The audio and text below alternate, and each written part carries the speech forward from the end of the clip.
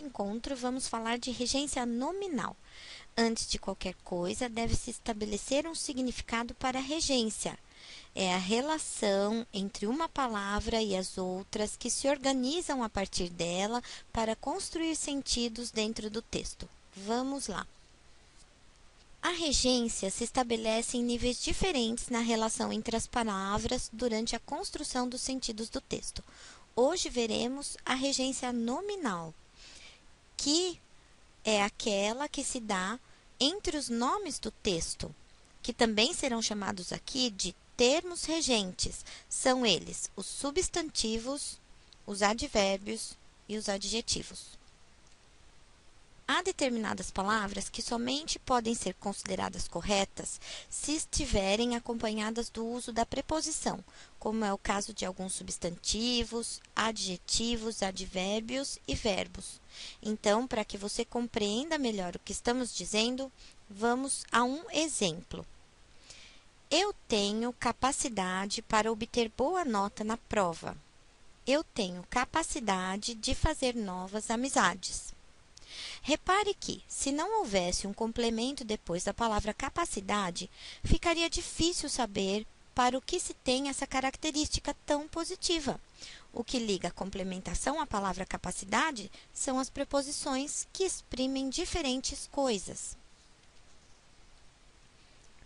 Então, sabe-se que os termos regidos têm expressos pela preposição seus valores semânticos, ou seja, a preposição exprime a significação do termo regido na funcionalidade dos termos regentes.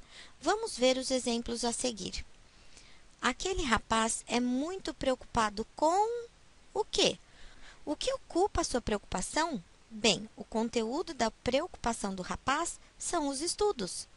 Dessa forma, percebe-se facilmente que a palavra responsável para que saibamos qual a preocupação do moço é a preposição com. Aqui, o termo regente é um adjetivo, preocupado. Na frase seguinte, estudar com os amigos é muito mais proveitoso, a mesma preposição com exprime outra coisa. Ela nos conta que estudar na companhia dos amigos é muito melhor, preferível a estudar sozinho. O termo regente nesse exemplo foi um verbo, o estudar. Vejamos outros exemplos do valor semântico das preposições e das relações que esses termos regidos estabelecem com seus termos regentes. O conhecimento é a chave para quê? Qual a finalidade dele? Ele é a chave para o sucesso. Falamos sobre quem? Qual era o nosso assunto durante a apresentação do seminário? Era Machado de Assis. Falamos sobre Machado de Assis. O cachorro morreu por causa de quê? A causa da morte do animal foi qual? Ah, ele morreu de uma epidemia desconhecida. Note que os termos regentes foram conhecimento, um substantivo, depois falamos e na outra frase morreu, ambos verbos já conjugados dentro de cada contexto. Essa questão do valor semântico das preposições não é estática. Vamos ver outros exemplos. Os objetos feitos com porcelana encontram-se expostos no evento. O garoto feriu-se com o objeto cortante. Nessas frases, temos preposições iguais com significados diferentes. O com, por exemplo, que na frase os objetos feitos com porcelana significa matéria com a qual os objetos são feitos. Na próxima enunciação, aponta com qual instrumento o garoto se feriu. Ele feriu-se com um objeto cortante. Veja outros. A universidade em que pretendo ingressar-me fica em Brasília. Origem: Os visitantes vinham do Maranhão. De onde vinham os visitantes? Do Maranhão. Estas constatações mais uma vez nos lembram quanto é importante a escolha adequada das palavras que vão dar conta da nossa ideia quando vamos construir um texto, até porque ainda temos uma observação muito importante a ser feita no próximo slide. As palavras se interrelacionam a fim de refinar o sentido daquilo que se pretende dizer. A trajetória percorrida foi de 30 minutos a comunicação feita pela internet é muito dinâmica. Realizei a pesquisa conforme as fontes bibliográficas indicadas. Recebemos as visitas com imensa alegria. Somos contra as ideias daquele professor. Há termos regentes que têm possibilidade de diferentes significações ou só apresentam combinações com duas preposições diferentes, nem sempre com novos significados. É o caso do substantivo admiração. Quem tem admiração tem admiração a alguém ou por alguém. Sua admiração ao chefe era grande.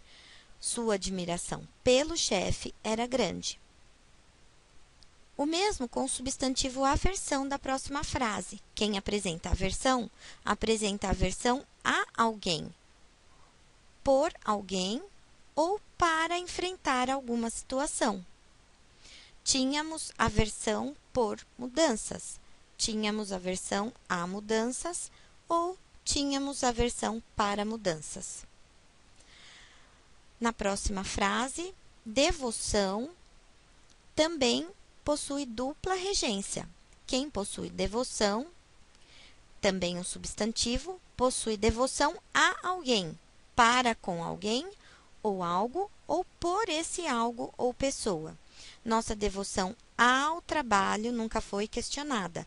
Nossa devoção para com o trabalho nunca foi questionada. Ou nossa devoção pelo trabalho nunca foi questionada. Nesse caso, todas as alternativas estariam corretas dentro da norma culta da língua portuguesa.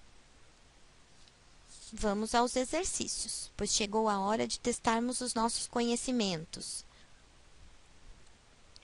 Diante das orações que seguem, analise-as e indique aquela que não se adequa ao uso da preposição a dentro das relações de regência entre os termos das orações. Estou ávido a boas notícias. Esta canção é agradável à alma. O respeito é essencial à boa convivência. Mostraram-se indiferentes a tudo. O filme é proibido a menores de 18 anos. Notem que nós queremos a alternativa que não se adequa ao uso da preposição a. A alternativa a é a única em que não podemos utilizar a preposição a, pois quem está ávido, como vimos, está ávido por alguma coisa. Então, nas próximas agendas, veremos a regência verbal. Até mais!